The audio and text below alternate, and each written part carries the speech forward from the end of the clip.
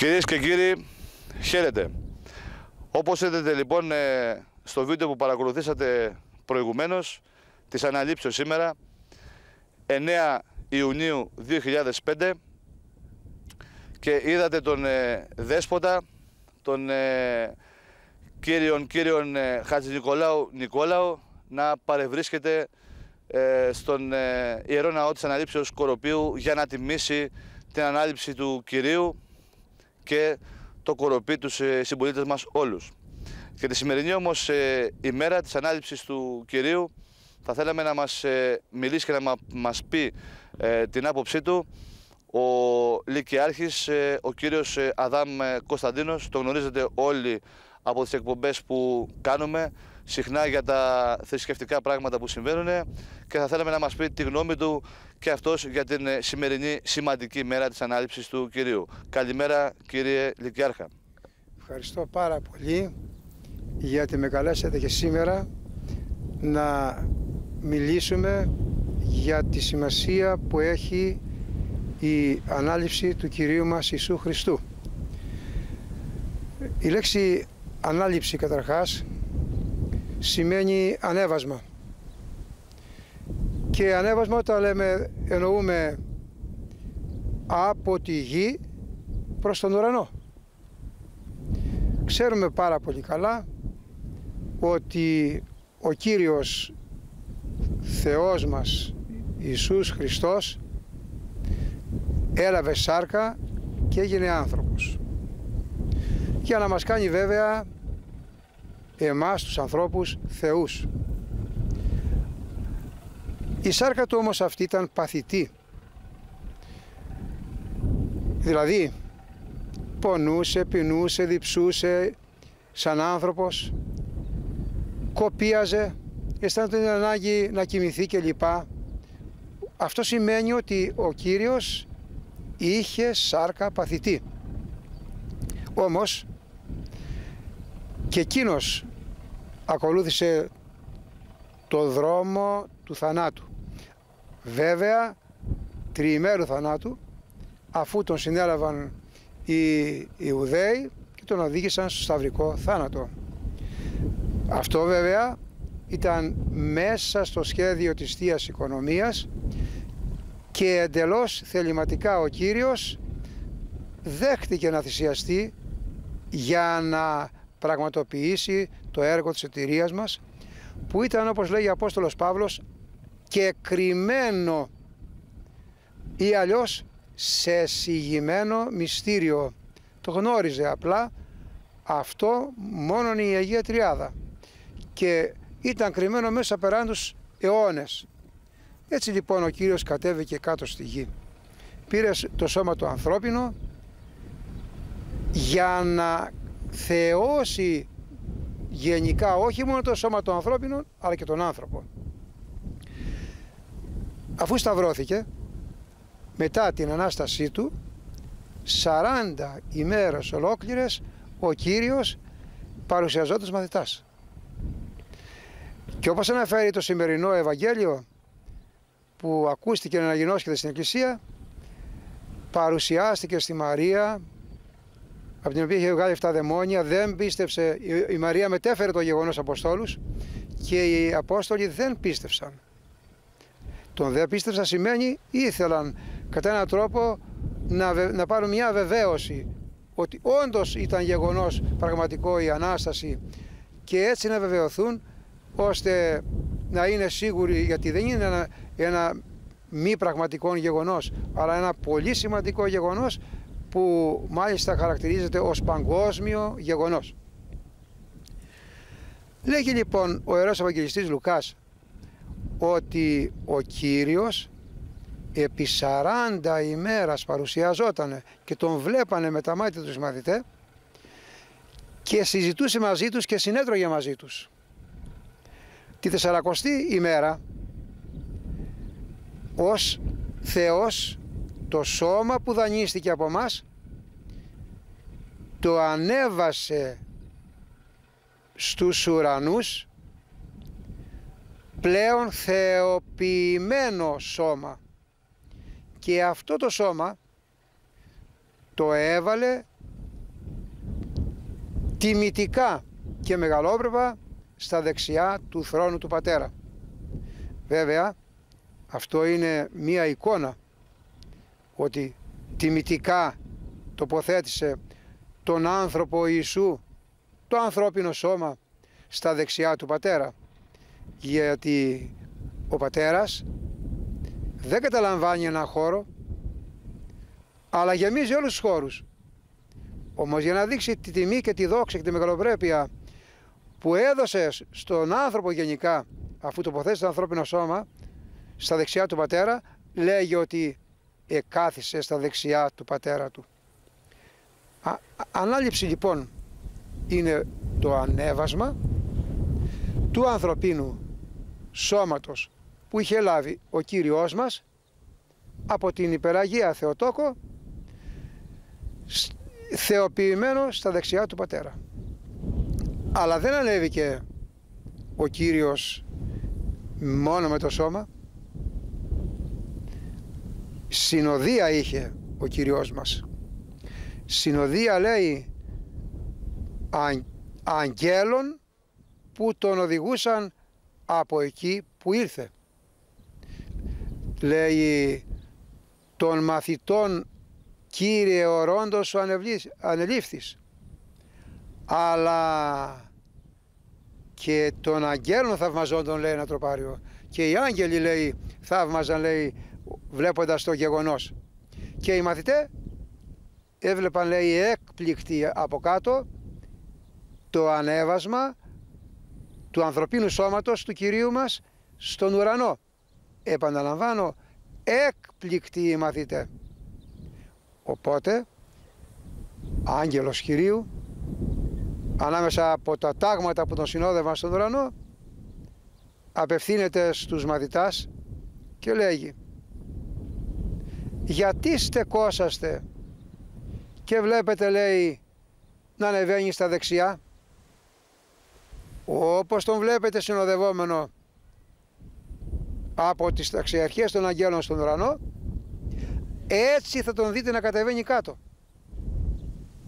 Να κατεβαίνει τι; Να κατεβαίνει για να κλείσει την αυλαία του κόσμου τούτου που έχει γράψει μία ανθρώπινη ιστορία βουτυγμένη μέσα στα αίματα και στη βρωμιά και στην ανηθικότητα και να αλλάξει όπως λένε οι γραφές αυτά τα στοιχεία του κόσμου που βλέπουμε εμείς με τα μάτια.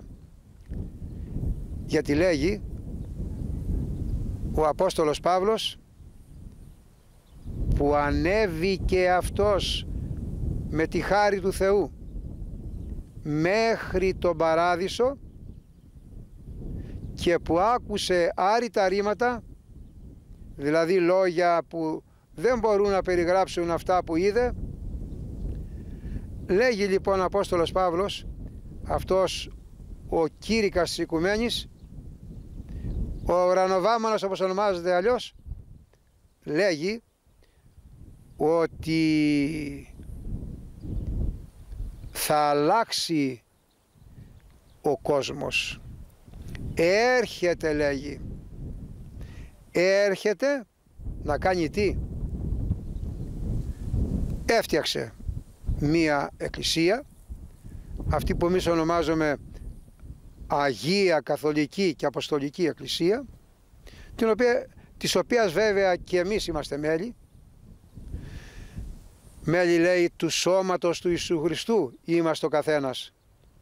Και προσέξτε αφού είστε μέλη της Εκκλησίας μέλη του σώματος του Χριστού μη βρωμίσετε τα μέλη αυτά του σώματος. Πρέπει να είναι καθαρά γιατί καθαρά είναι η κεφαλή δηλαδή ο Κύριος μας Ιησούς Χριστός. Αυτή λοιπόν η Εκκλησία την οποία αποτελούμε εμείς αυτή θα έρθει στιγμή που ενρυπεί ο φθαλμού δηλαδή όσο χρειάζεται να ανοίγει και να κλείσει το μάτι του ένας άνθρωπος θα αλλάχτεί και θα γίνει καινή κτίσης δηλαδή μία καινούρια κτίσης. Δεν θα βασιλεύει πλέον ασθένεια, φθορά, θάνατος.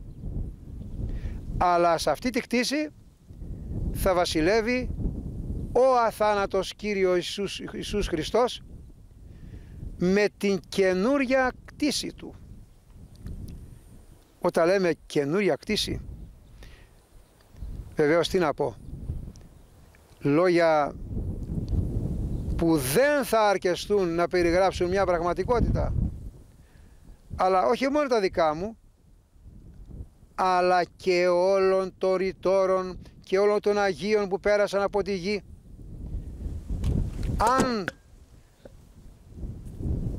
ακουστούν λόγοι περιγραφής για τη δόξα του Κυρίου και πάλι θα είναι αδύνατα να περιγράψουν την αιώνια εκείνη, εκείνη δόξα. Άρρητη η δόξα, ανίποτη, ανέκφραστη, ασύλληπτη, ακατανόητη είναι. Δεν περιγράφεται, αφού άλλωστε μην ξεχνάμε ότι αυτή η καινή κτήσης ερμηνεύεται διαφορετικά θείο φως, θεία δόξα.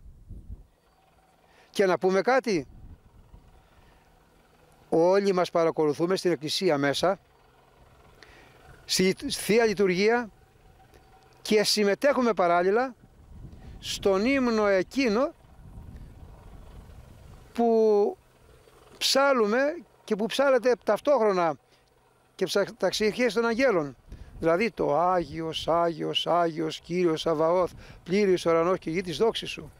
Αυτός είναι ένας ύμνος που ασταμάτητα αλλά και αθόρυβα μυστικά εντελώς αναπέμπεται, ψάλεται προς την Αγία Τριάδα το Άγιος, Άγιος, Άγιος Κύριος Σαβαώθ. Οι άγγελοι όταν ψάλουν τον ύμνο εκείνο λέγει ο Ισαΐας ο προφήτης σκεπάζουν λέγει συμβολικά βέβαια σκεπάζουν τα πρόσωπά τους με τις φτερούγες και καλύπτουν έτσι το φως μπροστά τους το λέγαμε γιατί αδυνατούν να ατενίσουν τη δόξα που εκπέμπεται από τη μεγαλοπρέπεια και τη δόξα του Θεού. Αν λοιπόν οι άγγελοι αδυνατούν να ατενίσουν τη δόξα του Θεού, πόσο μάλλον ένας που αρπάχτηκε από εδώ στη γη στον ουρανό όπως ο Παύλος ή τόσοι Άγιοι που ανέβηκαν που αξιώθηκαν να ανεβούν και να δουν μπορούν να περιγράψουν άραγε το μυστήριο εκείνο του Θείου Μεγαλείου αυτής της καινής κτήσης όπου βασιλεύει ο Θεός ο, ο αγιασμός, η δικαιοσύνη και η απολύτρωσης. Επομένως δεν έχουμε να αναφωνήσουμε όλοι μαζί.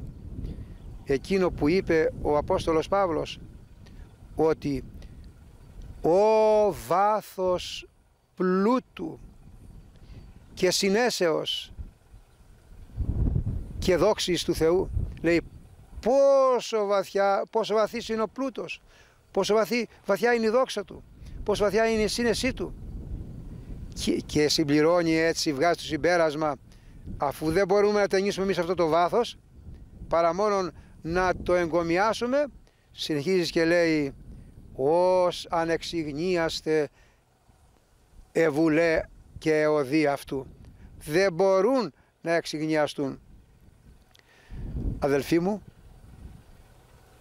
ο Κύριος μας κατέβηκε εδώ στη γη. Επαναλαμβάνω για να κάνει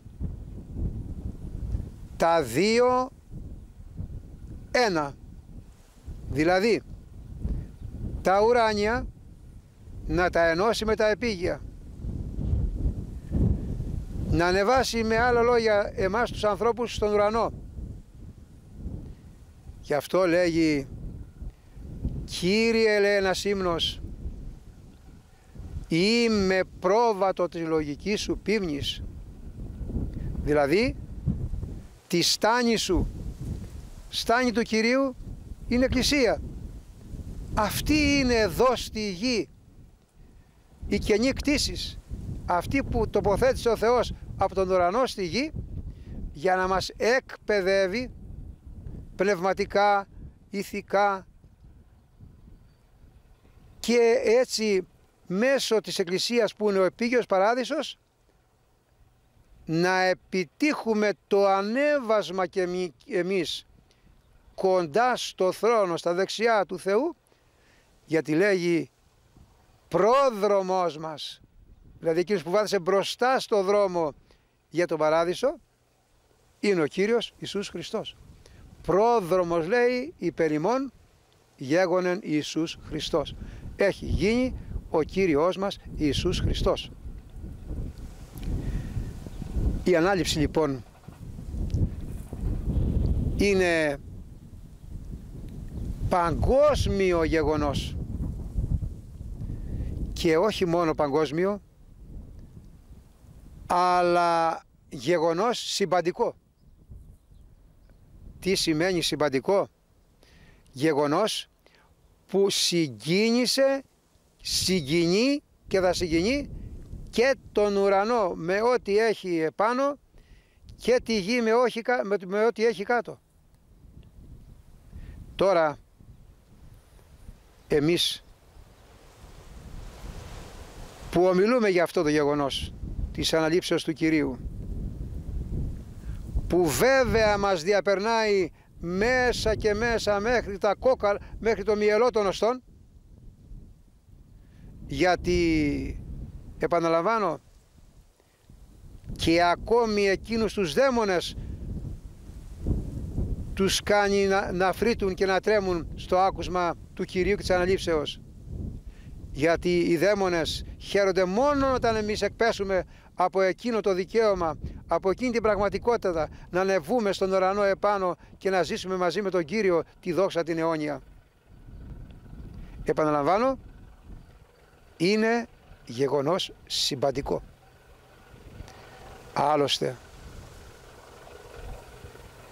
ξέρουμε πάρα πολύ καλά ότι ο Κύριος όταν έκλεισε τα μάτια του επάνω στο σταυρό ως άνθρωπος κατέβηκε στον Άδη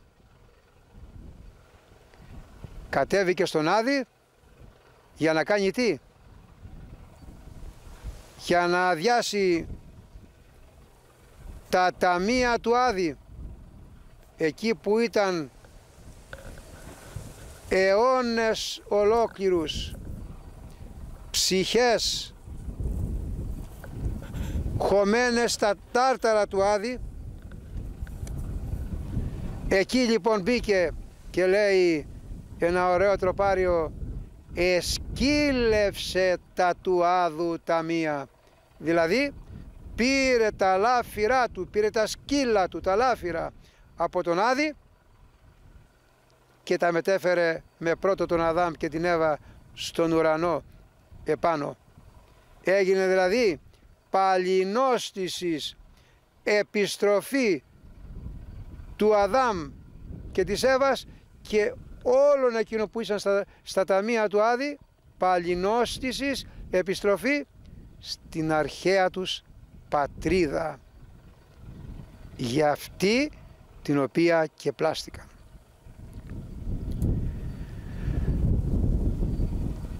Η ανάληψη λοιπόν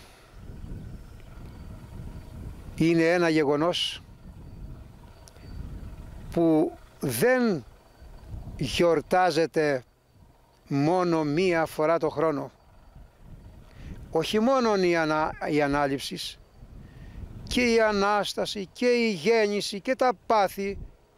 Όλα αυτά είναι ανθοδέσμη ουράνια που την οσφρενόμαστε μέσα στη ψυχή ανα πάσαν στιγμή κάθε δευτερόλεπτο. Εισπνέουμε περισσότερο από τον αέρα πνοή ευωδίας πνευματικής του παραδείσου.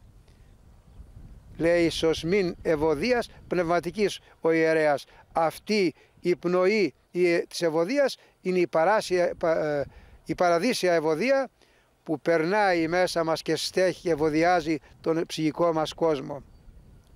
Δεν είναι λοιπόν γεγονός που βιώνεται η ανάληψη μία φορά το χρόνο.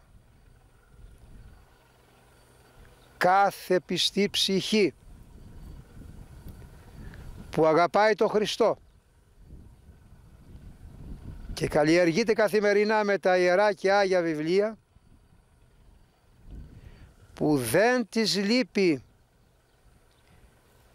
το στήσιμο απέναντι στο θρόνο του Θεού και που υψώνει τα χέρια ψηλά κάθε πιστή ψυχή που δεν πάβει να επισκέπτεται τον οίκο του Κυρίου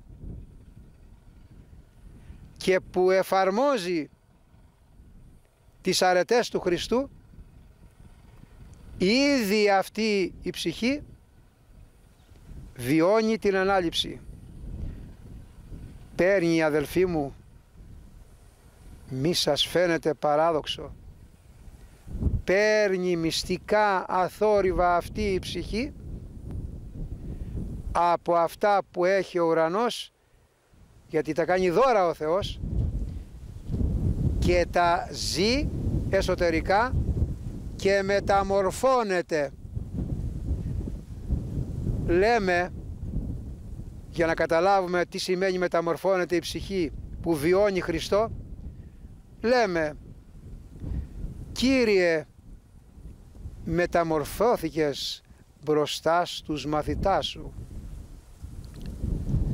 η Εκκλησία μας βέβαια χρησιμοποιεί αυτή τη φράση ότι μεταμορφώθηκε ο Χριστός αλλά όμως το αντίστροφο έγινε. Οι μαθητές μετεμορφώθησαν σε αυτούς ανοίχτηκαν τα μάτια της ψυχής. Για λίγο πολύ λίγο και είδαν στο όρο στο Θαβόρ το, τη θεότητα του Κυρίου όσο μπόρεσαν να δουν. Επαναλαμβάνω άνοιξαν τα μάτια της ψυχής φωτίστηκαν από το Άγιο Πνεύμα και στη συνέχεια για ένα κλάσμα δευτερολέπτου είδαν πολύ ελάχιστα αμυδρά τη θεότητα του Κυρίου μας Ιησού Χριστού. Για κοιτάξτε να δείτε, είναι ένα κομμάτι της καινής κτήσης και αυτό.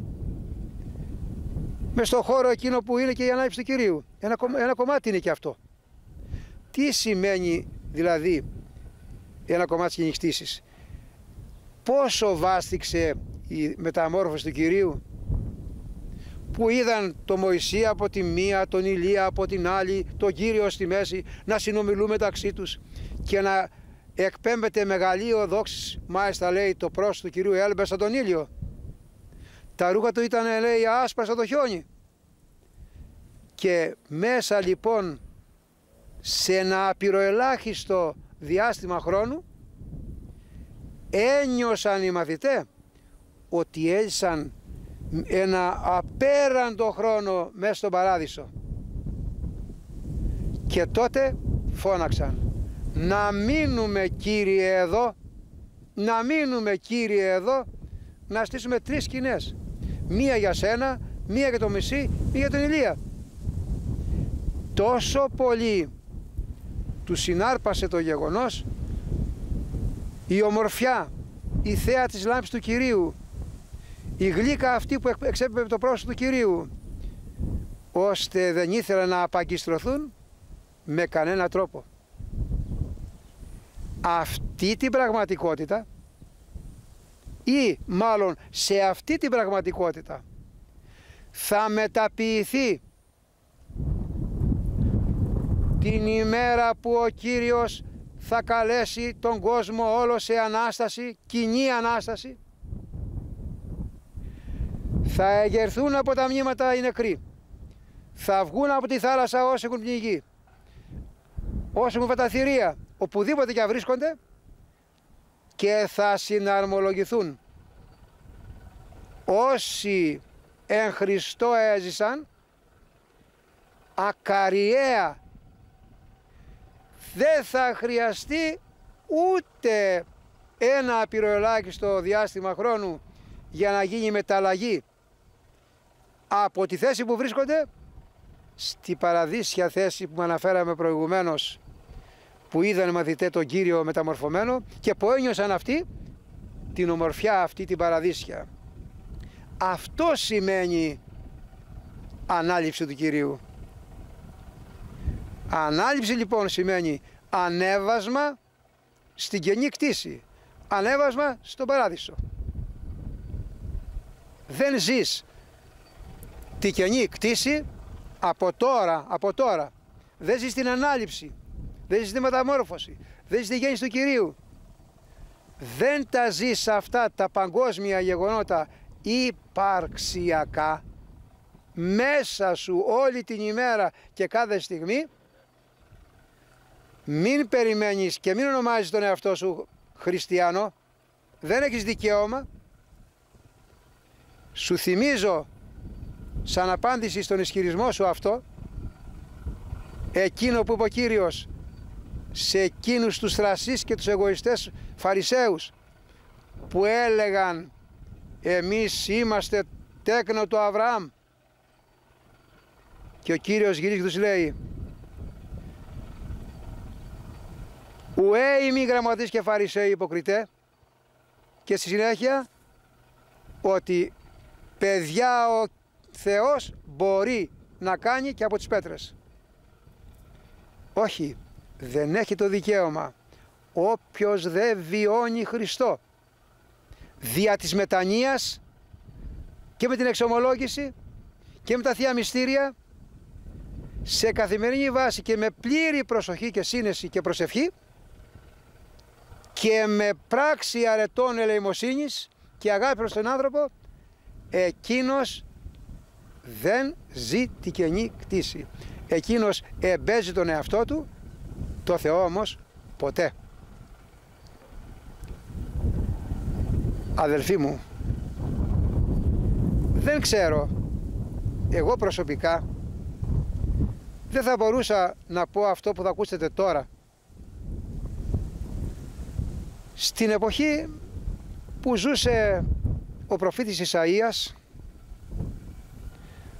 που υπήρχαν και τότε γιορτές ο προφήτης και μάλιστα γιορτές με μεγαλοπρέπεια και με κάποιον εγωισμό από τους, από τους Ιουδαίους ότι εμείς εκτελούμε τις εορτές που λέει ο Θεός. Ο προφήτης ήρθε και ακούστηκε φοβερή φράση, φοβερό κατηγορητήριο. Τις νηστείες σας και τις εορτές σας και τις νομινίες σας, πρωτομηνίες δηλαδή, τις μισεί ο Θεός μισεί ο Θεός. Εορτές, νουμενίες, νηστείες και ακόμη και τις ελεημοσύνες τους γιατί γίνονται προς επίδειξη πολύ φοβάμαι μήπως ο απόϊχος του κηρύγματος του Ισαΐα ισχύει και για μας και αλλή μονό μας αν και στις δικές μας εορτές ισχύει αυτό. Επαναλαμβάνω και δίνω έτσι τέλος στη μεγάλη εκείνη μέρα με τα εξής επιγραμματικά. Για όσους, για όλους εμάς που ακούμε όλα αυτά και πρώτος εγώ βέβαια γιατί και εγώ βρίσκομαι μέσα στο κύκλο αυτό όσο μας μένει καιρός ας αφήσουμε τα γεώδη αυτά αυτά που ζούμε τα τριμμένα που μας δίνουν αυτοί οι έξυπνοι από τα σκοτεινά κέντρα για να αφήσουμε τον ουρανό και να αγκαλιάσουμε τη γη. Επαναλαμβάνω, να αφήσουμε εκείνα τα γεώδη που μας προσφέρουν. Από τη μια μεριά άρτους και θεάματα. Από την άλλη μεριά πλούσια τα υλικά αγαθά για να μυρίζει η ζωή μας ύλη και μόνο ύλη. Να θυμηθούμε εκείνο που είπε ο Κύριος, να το έχουμε υπόψη μας. Το άφρον άφρον ταύτη την νυχτή απαιτούσε απεσού το, την ψυχή σου οι δαίμονες. Άι τι μας αστήνει έστε, δεν θα πάρουμε τίποτα μαζί μας. Αν φύγουμε κατά αυτόν τον τρόπο, αλλημονό μας. Αν φύγουμε όμως έχοντας την καινή κτήση, το Κύριο μας μέσα που είναι ο καινούριος, ο αιώνια καινούριος, ο μόνιμα καινούριος, ο Ιησούς Χριστός, ο ερωτευμένος από όλους Αγίους, αν λοιπόν εκείνον αγαπάμε, τότε μας θα έχει ήδη μεταποιηθεί ο εσωτερικός μας κόσμος σε μία καινή κτήση και θα ζούμε όλα τα θεία γεγονότα από τη γέννηση μέχρι την ανάληψη μέσα μας. Ας είναι ευλογημένο το όνομά του. Αμήν. Κυρίες και κύριοι, ευχαριστούμε πάρα πολύ τον ε, Λυκιάρχη, τον κύριο Αδάμ Κωνσταντίνο για την ανάλυση που μας έδωσε σχετικά με τη σημερινή ημέρα της αναλήψεως. Ε, ευχαριστούμε πάνω απ' όλα τον ε, Μητροπολίτη μας, τον ε, κύριο, κύριο Χατζη Νικολάου, Νικόλαο, που ο πρώτος είναι που άνοιξε αυτή τη συζήτηση σχετικά με την ανάλυση τι σημαίνει σήμερα. Συμπλήρωσε και ο κύριος Λυκιάρχης εδώ για να καταλάβετε εσείς κύριε τηλεθεατές ε, ε, καλύτερα. Και γιατί το κάνουμε αυτό; Το κάνουμε αυτό απλά για να έχουμε όλοι στο νου μας ότι ο Θεός είναι δίπλα μας και δεν πρόκειται να εγκαταλείψει ποτέ κανέναν. Κυρίες και κύριοι, χαίρετε. Ευχαριστούμε πάρα πολύ όλους σας που μας ακούτε και εσάς τους κυρίους που μας ε, φιλοξενείτε κάθε φορά στο κανάλι σας. Και πάλι χαίρετε.